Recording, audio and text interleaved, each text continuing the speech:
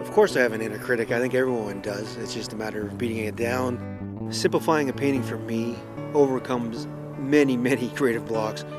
I use my systematic process to go through my painting to help solve problems that my inner critic might not actually know about, but tells me about through anxiety, through frustration, and that general awful feeling you get when you're at a point of a painting when you don't know what to do.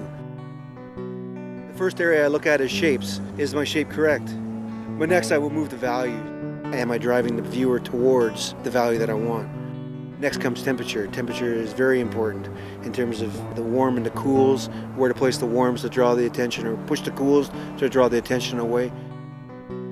My last step in my process I look at is edges, especially when I get off the focal point of the area. So I'll soften a lot of my edges around where I'm not supposed to be looking. That'll help drive the viewer to my focal point.